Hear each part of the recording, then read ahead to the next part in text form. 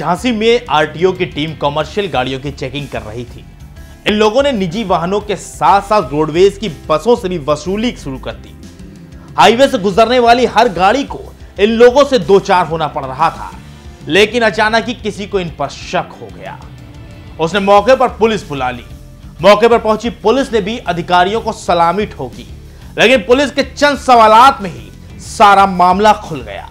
दरअसल चेकिंग के नाम पर वसूली कर रहे ये लोग, कोई आरटीओ अधिकारी नहीं, बल्कि शातिर बदमाश थे जो कि फर्जी तरीके से आरटीओ अधिकारी बनकर लोगों से पैसे ठग रहे थे।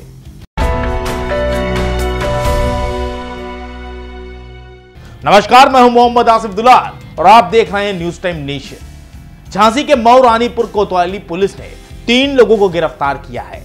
ये तीनों हाईवे पर फर्जी आरटीओ अधिकारी बनकर चेकिंग कर रहे थे।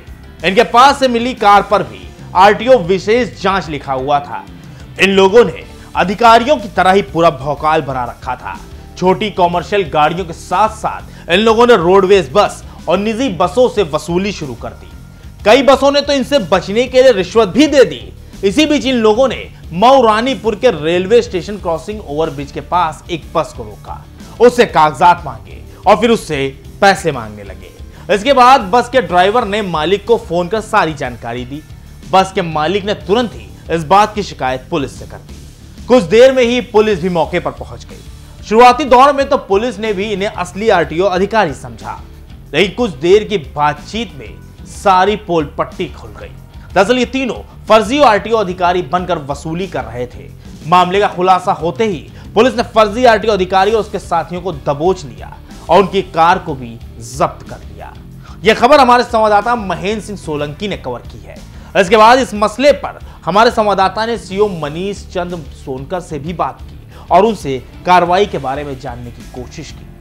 आज थाना महारानीपुर पर सूचना प्राप्त हुई कि कुछ लोग हाईवे पर फर्जी आरटीओ बनकर बसों से अवैध वसूली कर रहे हैं और जान, जानकारी को प्राप्त होने पर थाने द्वारा त्वरित कार्रवाई करते हुए कुछ संदिग्ध लोगों को थाने पर पूछताछ हेतु लाया गया है।